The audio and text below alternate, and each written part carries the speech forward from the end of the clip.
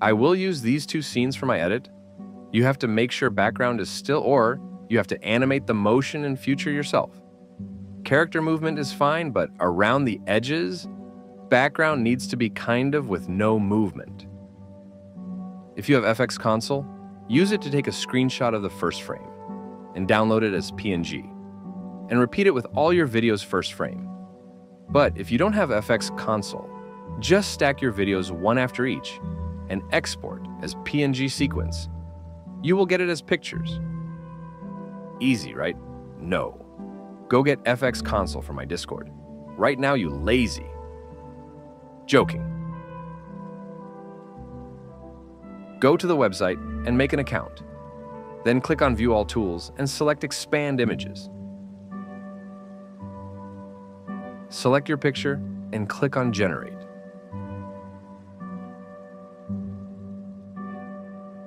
Just download whichever you like.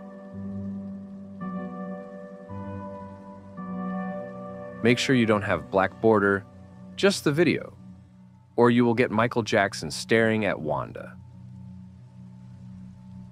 Open Hypic application and select your photo. Go to Adjust and then crop out the black parts.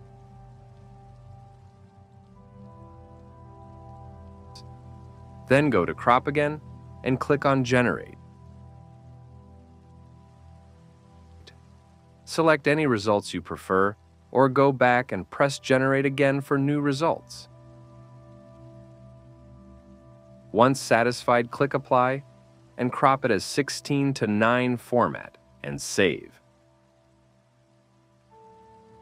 Repeat it with all your video layers. And once done, send them back to your computer. I will put my images back to After Effects.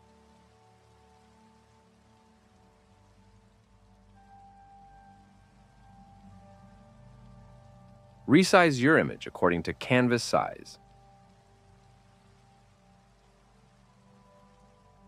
Then, reduce the video opacity to see bottom image and scale it according to the image size. Once set, put the opacity back to 100. I will mask around the video as there are visible edges. Then, by pressing F key, I can add some softness to corners. Do the same step with all your layers.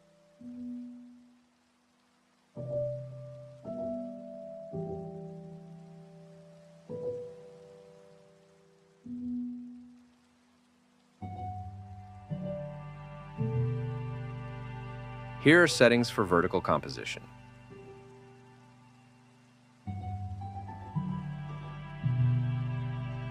I will just zoom here to show you. But this is not ideal if you zoom, it might reduce image quality. So if you are planning to make vertical edit, keep it vertical throughout for better results. And that is it. Hope it helps. Application is available on my Discord if you want. Thank you so much for watching.